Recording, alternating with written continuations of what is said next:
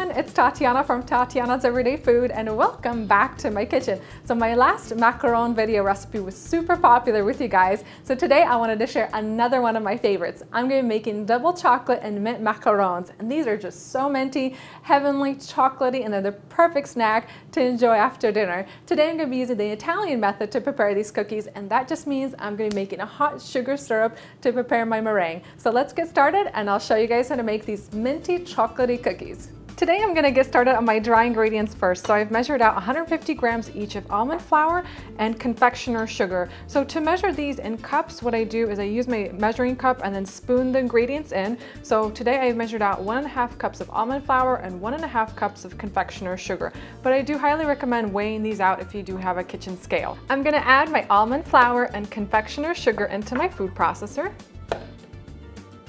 I'm gonna pulse these two together for a few minutes until I have a nice and uniform mixture and I don't have any larger clumps. And just sift the dry ingredients into a large bowl.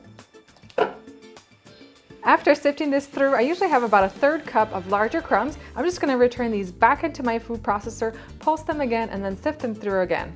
So into a small saucepan, I'm gonna add 120 grams or one cup of white granulated sugar, and to that, I'm gonna add 40 grams of water or three tablespoons.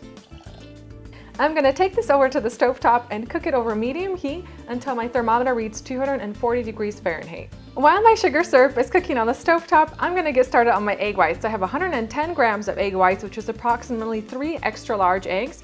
I'm gonna drop them into my mixer bowl, and I'm gonna whisk these on high speed until soft peaks form.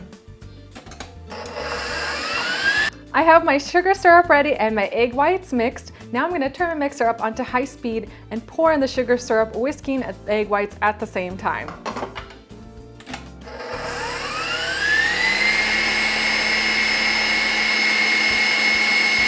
You wanna keep whisking the egg whites and the sugar syrup together until you get stiff and glossy peaks.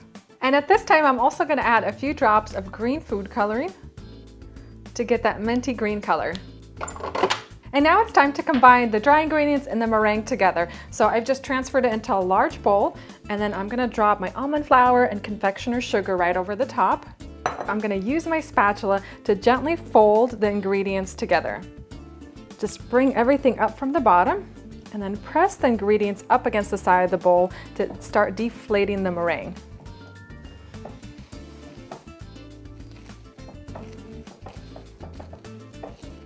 Now to get the cookie batter to the right stage, I'm just taking my spatula and using it to press the cookie batter up against the sides of the bowl to help deflate the meringue and get it to that lava stage. And at this point, I'm also gonna add a few drops of peppermint oil. You wanna keep mixing your cookie batter until you get it to the lava stage. And that means it'll just ribbon off your spatula and settle back down on itself within 10 seconds. Now I'm just gonna transfer this into a pastry bag. I've lined a few baking sheets with parchment paper and now I'm just gonna pipe my macaron cookies out onto my parchment paper. And you wanna pipe them all about the same size.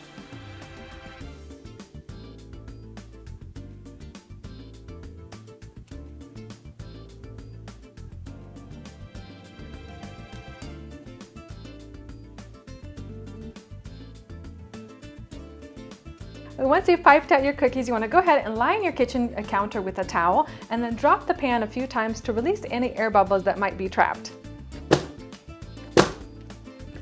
My macarons have stood at room temperature for about 45 minutes and this has allowed them to form a nice thin shell on the outside and they're ready to go into the oven. I have mine preheated at 320 degrees Fahrenheit and they're going to bake for about 13 to 15 minutes. While my cookies are cooling, I'm gonna get started on the filling. I have one cup of semi-sweet chocolate chips. To that, I'm gonna add a quarter cup of cream that I've heated in the microwave till it was nice and hot. I'm gonna pour that over the top. I'm also gonna add a few drops of that peppermint oil. Make our filling nice and minty. And then just stir this until all that chocolate is nicely melted. I need my chocolate ganache to thicken up just a little bit more, so I'm gonna place it into the refrigerator for about 15 minutes, and then we'll be ready to fill our cookies. You wanna turn half of your cookies upside down, and now it's time to fill them. So I'm gonna drop a little bit of the chocolate ganache right into the center.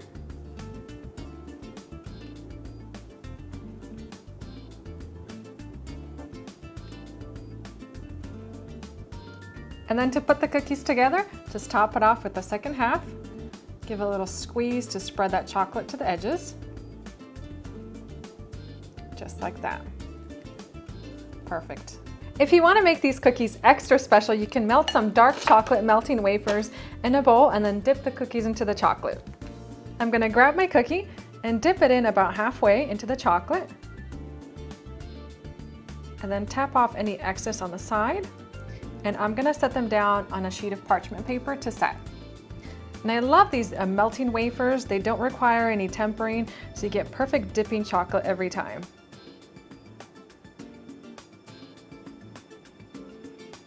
And then I'm gonna finish them off with a simple white chocolate drizzle.